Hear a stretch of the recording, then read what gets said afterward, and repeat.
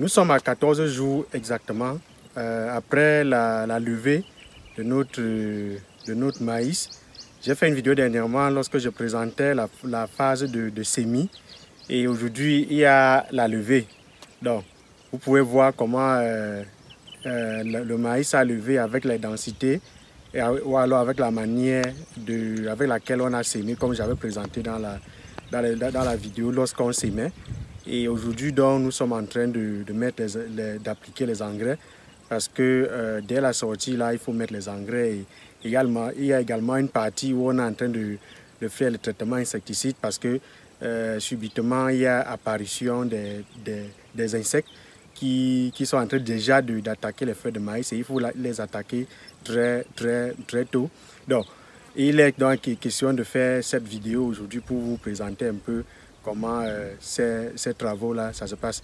Je suis Guy Bertrand Mouko, ingénieur d'agriculture et promoteur du cabinet BH Agri Consulting, cabinet spécialisé dans le conseil agricole.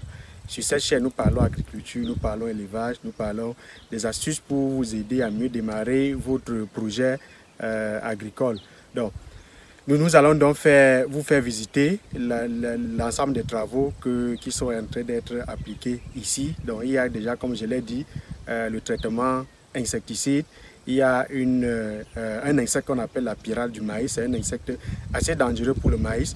Et il a commencé à attaquer les feuilles de maïs. Et directement, il faut agir pour ne pas laisser... Euh, euh, l'insecte se multiplie davantage. Et à côté de cela également, il y a dans notre secteur où on est en train d'appliquer ah, directement les engrais parce que le sol ici n'est pas assez fertile. Surtout les variétés qu'on utilise sont des variétés très exigeantes en engrais. Donc il faut directement mettre les engrais après, directement après la, levée, comme donc ça peut, ça peut se voir. Donc ça c'est euh, le but de la vidéo d'aujourd'hui pour que vous voyez un peu comment euh, notre exploitation évolue.